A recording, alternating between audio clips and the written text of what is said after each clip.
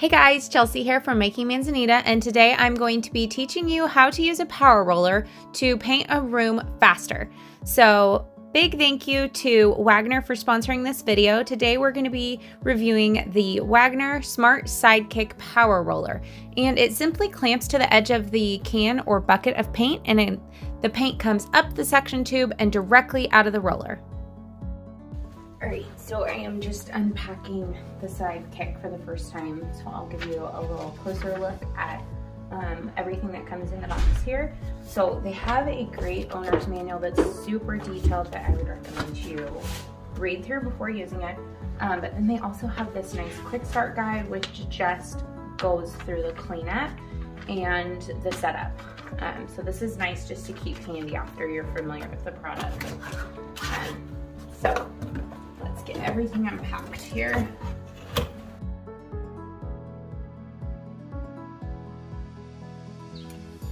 All right, so I just um, was getting it unpacked here and I started, um, I wanted to just make sure I knew how to take the roller apart before there was a bunch of paint on it, so that's why I'm doing it now.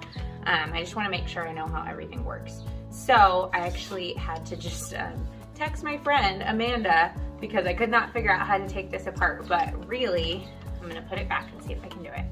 Um, this just pops on.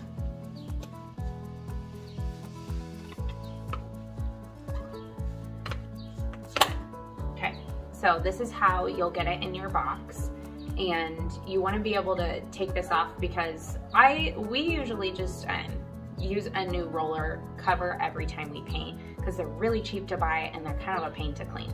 So um, that's why you want to definitely, and you're, you're gonna need to take this apart to clean it.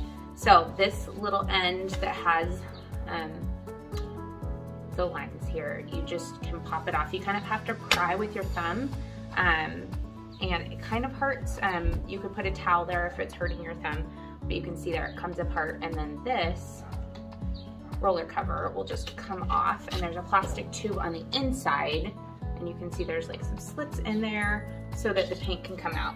And then the piece that goes inside is this metal one. And this as well has holes in it so that the paint can come out that. So that's kind of how everything works. And so once you get it all back together,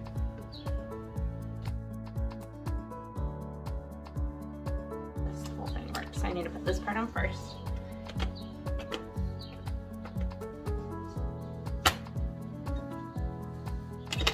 There we go.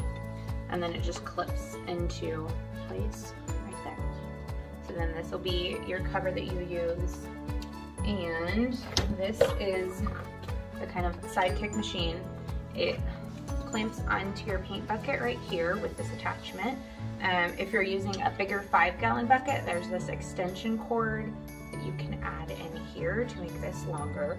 Um, but this is the tube that's going to go down into the paint bucket. You want it to be down at the bottom.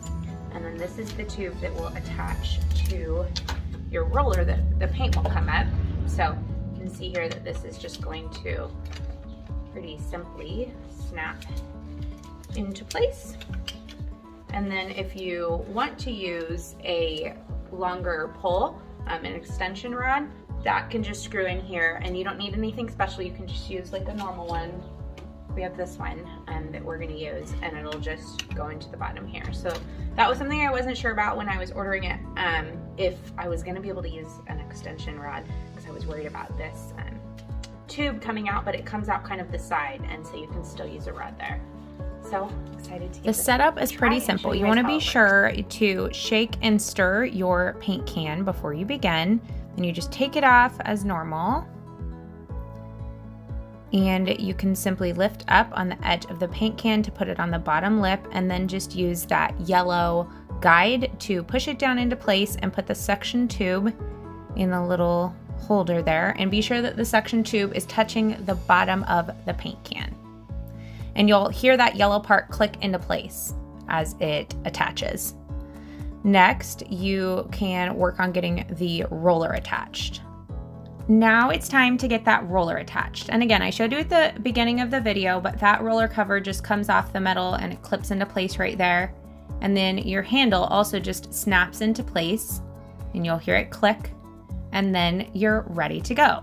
You can plug your machine in, push it, push um, the power button on, and then you use that yellow button on the handle to turn the machine on. You'll hear it turn on, and then you can see the paint going up the tube, and you just want to follow it all the way up the tube. It may take a second to get all the way up. And then once the paint has gone all the way up the suction tube, you can start rolling it on the wall.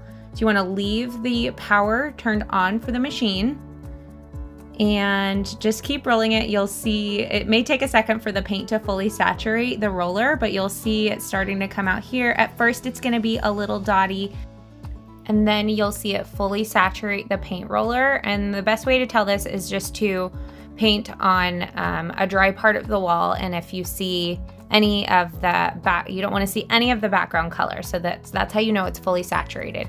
So once it's fully saturated, you can push that button again on the handle, the yellow button to turn the machine off and it will stop the flow of the paint coming out of the roller.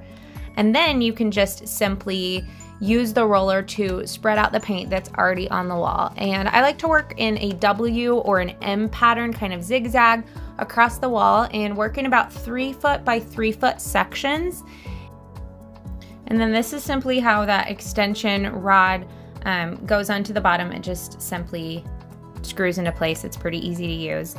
Um, so you want to, again, work in three foot by three foot sections. And once you're done with um, a full section from ceiling to floor, you want to do one slow solid swipe from ceiling to floor. And this is going to give you a nice even paint finish and you won't see any of the roller marks. So one thing to kind of keep in mind is you don't want to oversaturate the paint roller because it may drip or slide against the wall or start splattering. But you also don't want to undersaturate it and then it crushes the fibers on the paint roller. So it's kind of an art and once you get some practice in, you'll see what I mean um, and you can, you'll, you'll have a better understanding of when to turn on and off the machine. But you can see here that I was able to work really quickly. I was actually pretty shocked at how much time I was able to save by not bringing the paint roller off the wall and dipping it into a paint tray and that usually ends up being a mess for me anyway. I'm a pretty messy painter so I usually end up dripping it all over the place with the paint tray so I was shocked at how much this really helped me paint. The other part that I was pleasantly surprised about was how easy the cleanup was. It really didn't take as much time as I thought it was going to take me. And the owner's manual that comes with it is really clear and simple to follow. So you simply just pretty much run water through the machine. Here's how that dark gray paint color turned out. I absolutely love it and I can't wait to continue finishing our living room makeover. Be sure to follow along as we completely transform this space. All in all, I think that the Smart Sidekick roller from Wagner is a great tool that's definitely going to come in handy for future painting projects. Thank you so much to Wagner for sponsoring this video and project. I hope you guys enjoyed it. If you have any questions about the Smart Sidekick roller or just painting in general, let me know in the comments below. I'd be happy to help answer them. And if you love this video, be sure to subscribe to our channel. We share tons of renovating and DIY tips. See you guys next time. Have a great day.